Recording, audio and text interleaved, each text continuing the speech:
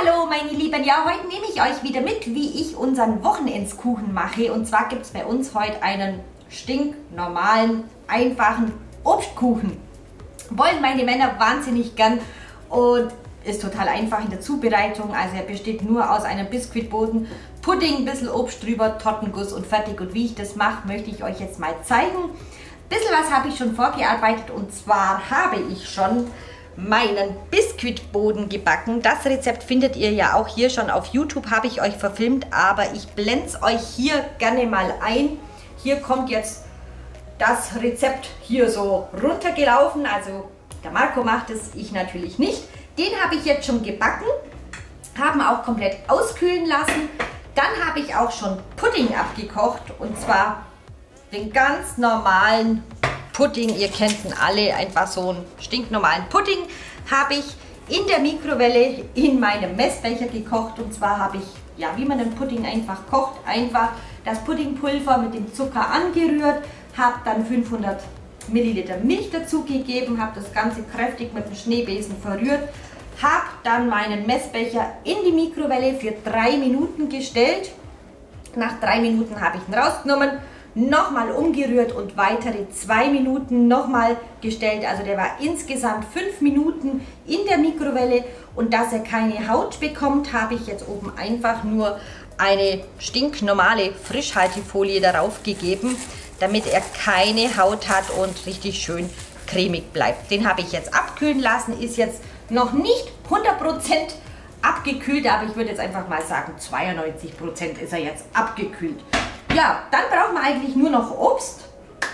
Und dann können wir eigentlich schon loslegen. Ich zeige euch jetzt noch, wie ich meinen Biskuitboden aus der Form entnehme und wie ich den halbiere, weil so ist er wirklich viel zu hoch. Also ihr könnt meinen Biskuitboden wirklich ein oder sogar zweimal trennen. Und ich brauche jetzt auch nur einen und den anderen gefriere ich mir ein und da bin ich immer mega happy, wenn ich dann spontanen Kuchen mache und ich gehe einfach in den Gefrierschrank und habe eigentlich immer einen Biskuitboden eingefroren. Ja, dazu nehme ich jetzt einfach nur ein Messer und fahre einfach am Rand so, so entlang.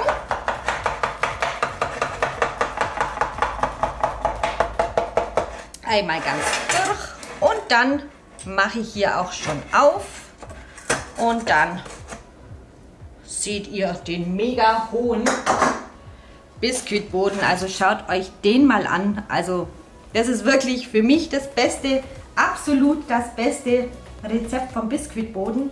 Und jetzt muss ich ihn natürlich unten auch noch lösen.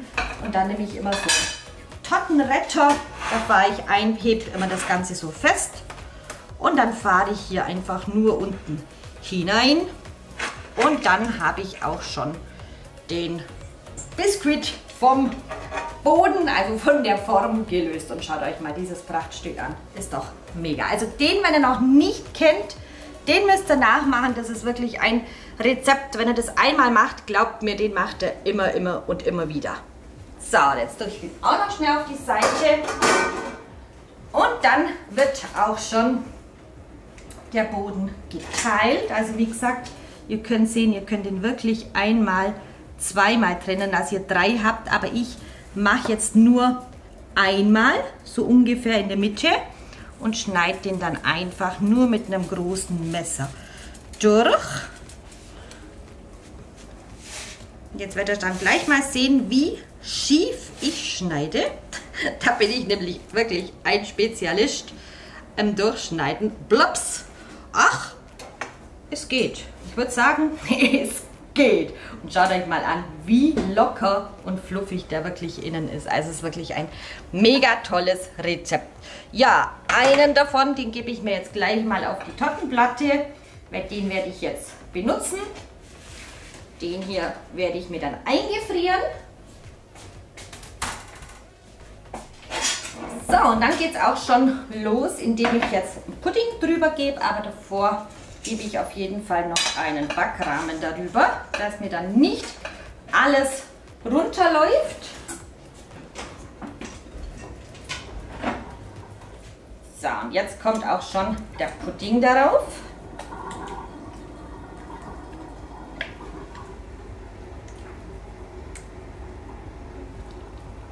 Und werde ihn dann einfach noch ein bisschen verteilen bzw. glatt streichen.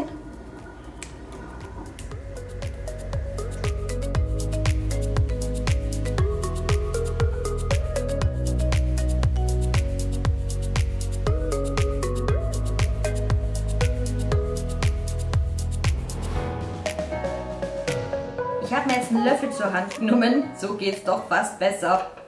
Und natürlich, umso wärmer der Pudding ist, umso besser lässt er sich auch verstreichen. Also meiner war jetzt fast schon zu kühl, also lassen bloß ein bisschen abkühlen, dann geht es besser. Ihr könnt natürlich auch Paradiescreme oder so drauf geben. So, so lasse ich es jetzt, aber ihr wisst ja, im Dekorieren bin ich ja immer nicht so die Professionelle hier, aber so passt schon. Jetzt kommt ja noch Obst darüber und dann sieht man das Ganze nicht. So, und jetzt brauchen wir Obst. Und da werde ich jetzt auch gleich Obst aus meiner Etepetete Box entnehmen. Ich bekomme ja alle 14 Tage von Etepetete eine Box zugeschickt. Entweder mit Gemüse oder mit Obst oder gemischt oder Rohkost. Ich mache das immer abwechselnd. Und diese Woche kam eine reine Obstbox bei mir an. Und ich habe schon mal reingespitzelt und ich habe gesehen, da ist wirklich einiges darin, das ich auf jeden Fall für einen Kuchen hernehmen kann. Und zwar habe ich mir gedacht, ich werde Bananen draufgeben, ich werde Äpfel draufgeben, Mandarinchen werde ich draufgeben, Birnen habe ich auch noch irgendwo entdeckt. Ich glaube, hier unten sind noch Birnen, da habe ich noch Datteln mit drin. Und wer Etipetete noch nicht kennt, das ist Obst und Gemüse das es leider nicht in den Supermarkt schafft, da es einfach entweder zu groß, zu klein, zu schief, zu dick, zu dünn ist. Und deswegen wird das Obst und Gemüse aussortiert. Ja, hier sieht man zum Beispiel, die Zitrone ist riesengroß, ist zu groß für den Supermarkt. Im Gegensatz zu dieser Limette, die ist kugelrund und viel zu klein. Und deswegen wird es aussortiert und ich bin einfach stolz, dass ich Obst- und Gemüseretterin geworden bin und ich mir die Box alle 14 Tage nach Hause liefern lasse. Und wenn ihr das auch machen mögt, dann probiert es doch gerne mal aus. Ich habe sogar einen Rabattcode von Etepetete bekommen. Und wenn ihr da ruckzuck mal nur eingibt, dann bekommt ihr die Box fürs erste Mal für 5 Euro reduziert oder günstiger. Also ihr könnt euch 5 Euro sparen mit dem Rabattcode ruckzuck mal. Aber ich werde mir jetzt erstmal hier ein paar Äpfel rausnehmen, Mandarinen, die werde ich mir jetzt schälen und dann werde ich das hier alles schon mal schnippeln, was ich drauf haben möchte. Da werde ich jetzt die Kamera nicht mitlaufen lassen. Ihr wisst ja, wie man Obst schneidet. Wow, Ananas ist auch drin. Ja, die ist wahrscheinlich zu klein. Da haben wir nochmal Birnen. Genau, ich nehme eine rote, eine grüne Birne. Hier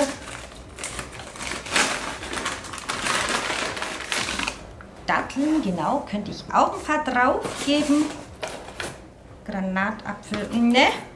Mango, oh ja, die ist auch schon reif. Mango könnte ich mit drauflegen. Ja, ich schnippel einfach jetzt mal und dann hole ich euch wieder dazu.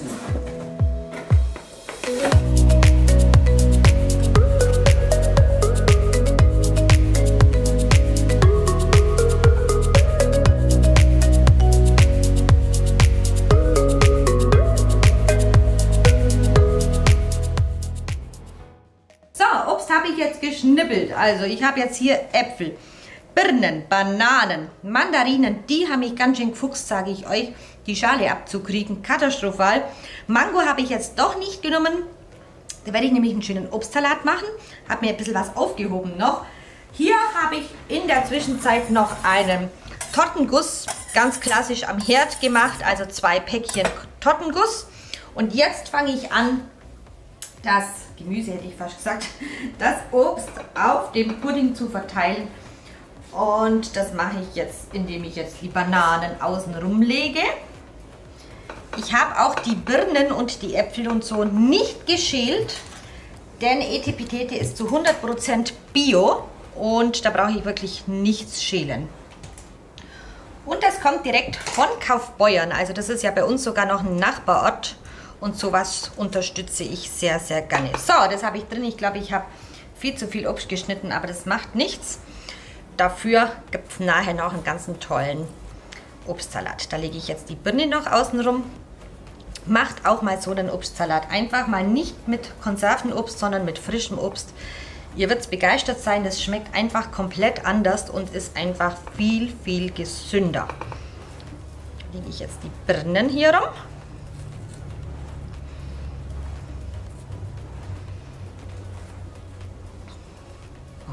Ich und dekorieren, gell? Ihr seht es schon. Oh.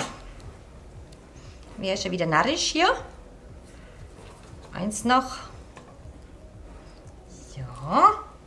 Dann würde ich sagen, legen wir mal irgendein paar Mandarinchen rum, dass hier mal ein bisschen Farbe reinkommt. Also wenn das nicht gesund ist, dann weiß ich auch nicht. Ja, okay, mit Puddingpulver ist jetzt nicht ganz so gesund, aber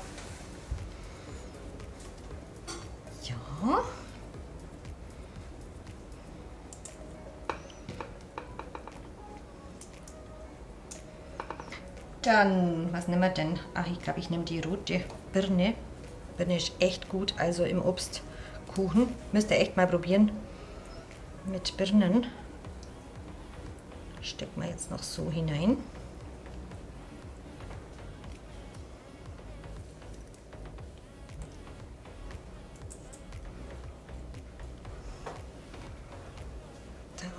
Man noch ein bisschen. Ja, Nee, schaut nicht toll aus. Mein Gott. Lach nicht, Marco. Du weißt es. Ich bin die perfekte Deko-Queen. Ja, Datteln lasse ich auch raus. Und ich mache wirklich aus dem Rest, mache ich Obstsalat. Doch, so lassen wir es. So lassen wir es. Jetzt rühre ich den noch einmal durch.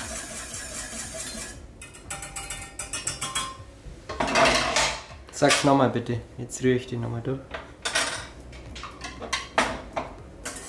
Jetzt rühre ich den noch einmal kräftig durch. Und dann ist wichtig, wenn ihr was mit Tortenguss macht, dass ihr immer von der Mitte aus nach außen euch arbeitet. Also ich fange mittig an und lasst es wirklich schön nach außen laufen. Und dann lasse ich das Ganze richtig schön abkühlen. Ich werde ihn jetzt rausstellen auf die Terrasse und dann ist er wirklich ruckzuck ausgehärtet. Besser natürlich immer über Nacht, also so mache ich jetzt immer. Ich mache den Kuchen eigentlich immer einen Tag vorher. Und dann lassen wir uns den morgen schmecken, gucken, dass wirklich alles bedeckt ist. So bleibt euch das Obst auch schön frisch und wird euch nicht braun. Und dann werden wir noch anschneiden und euch natürlich noch ein Foto zeigen, wie der Kuchen aussieht. Jetzt habt ihr mal gesehen, wie ruckzuck ich einen Obstkuchen mache. Und ja, macht ihn einfach mal nach. Würde mich freuen. Schreibt mir gerne dann in die Kommentare, wie ihr meine Obstkuchen-Variante findet. Beziehungsweise, ob ihr auch schon mal den Biskuitboden gemacht habt. Schreibt es mir gerne, würde mich interessieren. Oder wenn ihr ein anderes besseres Biskuitrezept habt, könnt ihr mir natürlich auch gerne weitergeben. Ja, in diesem Sinne würde ich mich auch schon verabschieden von euch. Macht es gut, bleibt gesund. Ich wünsche euch ein wunderschönes Wochenende und natürlich am Sonntag einen schönen Muttertag. Und ja, bis dann. Tschüss, eure Ruckzuck Manu.